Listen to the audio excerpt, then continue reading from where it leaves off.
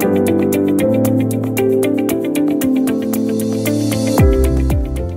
circular economy is a really really upcoming field basically and all the what you call awareness about the uh, circular economy has been recently been coming maybe we may say that five seven seven eight years. Earlier we all used to think only in the linear direction the circular has recently come up so there are quite a number of there is a long way to go in circular economy and there are quite a number of challenges basically the data, the technologies, how it can be implemented, the uh, portals. There are so many things need to be in place before getting into circular economy. Although we have in our country the circular economy as such is is a culture in our country that we reuse, reuse, we do so many things with the products.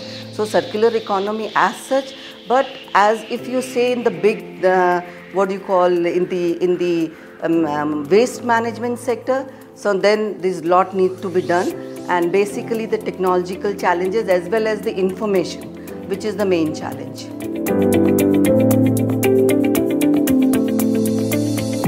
The government has done quite a lot. Uh, you must be knowing that all the rules now are focused towards circular economy, be it the plastic waste management rules, be it the solid waste management rules. Now quite a number of new rules are coming which are maybe the draft battery waste management rules, tire rules. All these are basically centric towards the EPR.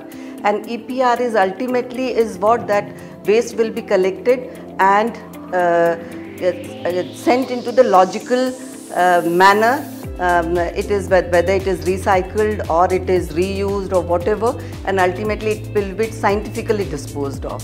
So all the rules are now coming up uh, and the, all policies are oriented towards circular economy.